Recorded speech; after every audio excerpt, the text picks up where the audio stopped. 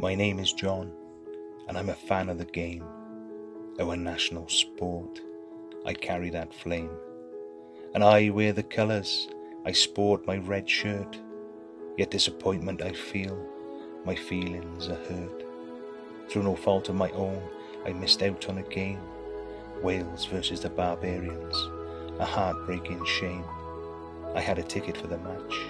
There was an anthem to share. I looked forward to the atmosphere in our dragon's lair. But sadly, I didn't go. I couldn't take up my place. I didn't watch my heroes on that field that they grace. I'm in need of constant care. I need a helping hand. Yet people in high places really don't understand. And sometimes I feel these people don't serve.